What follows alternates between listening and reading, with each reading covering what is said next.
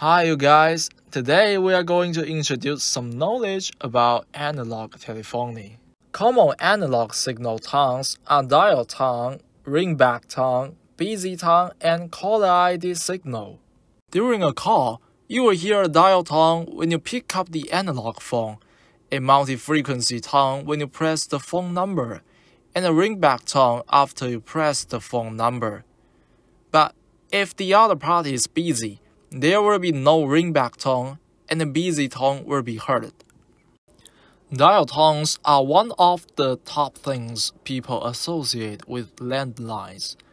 The noise actually serves an important purpose, as a dial tone is modulating tone that signals an available line. The purpose of this tone is to indicate that the phone is functional and ready to make a call. This tone, of course, stops when you start dialing. It sounds like this.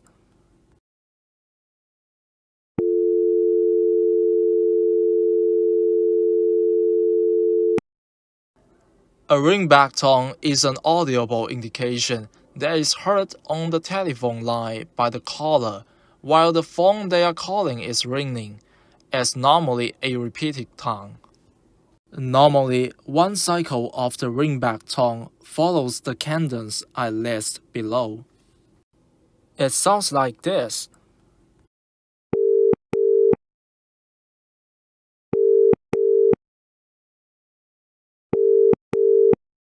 You can see the length of the sound and the silence of the ringback tone comply with the parameters we give. By this point, some of you may be wondering what is the difference between ringtone and ringback tone? First, ringtones can be downloaded to your phone and played by them. You will hear a ringtone when someone calls you. Ringback tones cannot be downloaded to your phone. Rather, a ringback tone is played by a carrier network to your callers. It's the ringing sound you hear when you call and try to connect to someone. So here is a clip of ringtone.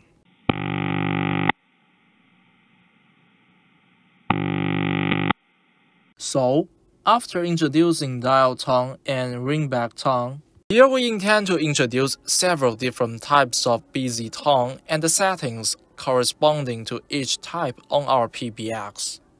Busy tone is a series of sharp buzzing tones heard over a telephone when the line dial is already in use.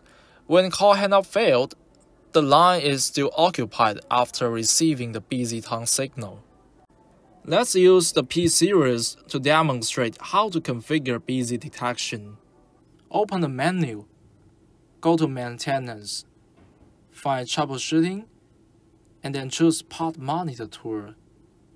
Choose Proper Trunk to get the caller ID signal details and after finding the true one, click Start. Then call into the PSTN line and wait for 5 seconds. Then hang up the call. After that call, you should call into the same PSTN line again for another 5 seconds. Then click Stop button, click Download, to get the port monitor files. The cadence of busy tone type 1 are listed below. Here is the busy detection settings for busy tone type 1. It sounds like this.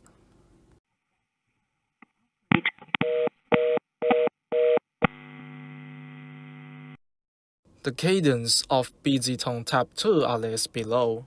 And here is the busy detection settings for busy tone type 2. It sounds like this.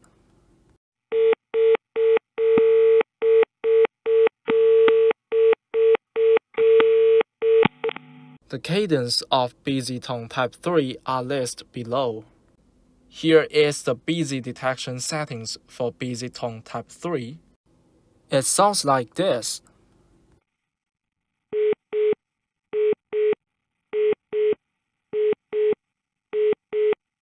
In addition to busy tone, polarity reversal is also a hang-up detection method.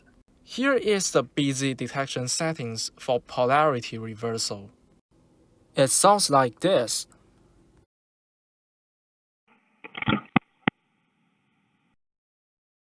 If none of the above four cases can be detected correctly, please consider choosing loop current disconnect.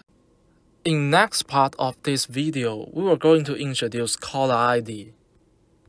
Caller ID is a telephone service available in analog and digital phone systems and most VoIP applications that transmits a caller's number to the called party's telephone equipment during the ringing signal. Where available, caller ID can also provide a name associated with the calling phone number. The caller ID issue often happen on PSTN trunks. Follow the step below to configure caller ID. Step 1 is to make sure the clip of the PSTN line has been enabled. We can check this by connecting a desktop analog phone to the PSTN line directly and make a call in to check if the caller ID can be detected correctly. Step 2. Try the settings below on the PSTN trunk page.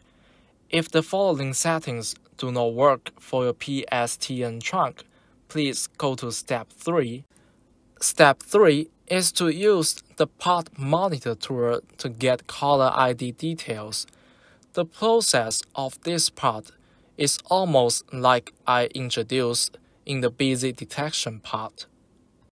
There are two types of information transmission method for caller ID, FSK after the first ring and DTMF before the first ring. FSK is short for frequency shift keying of binary signals. It means sending a certain frequency to get a wave when transmitting a number, and sending a wave of another frequency when emptied. It sounds like this.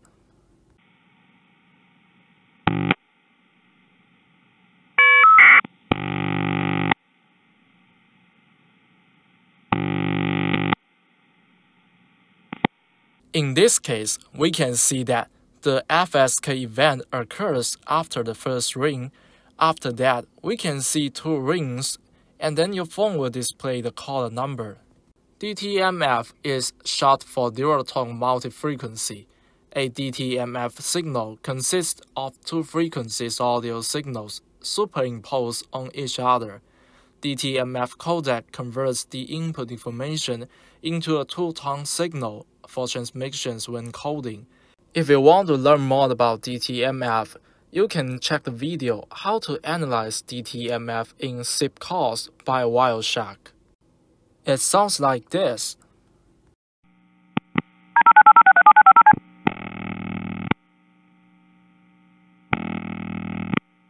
In this case, we can see that the DTMF event occurs before the first ring, so we can see the caller ID before we hear ringtone.